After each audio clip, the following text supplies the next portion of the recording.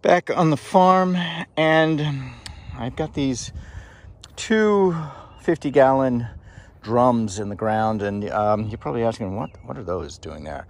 Um, so I wanted to and, and this is something I didn't even look on YouTube to get. I wanted to create my own compost and have it be in the ground and and covered up.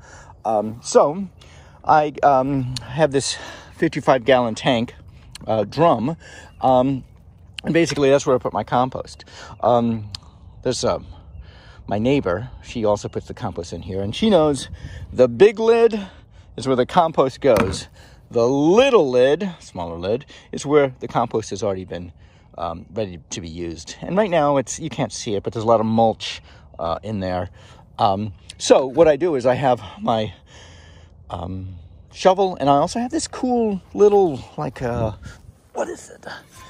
It's like a, a hoe that I use to stamp inside when I go inside this here. Let me show you real quickly.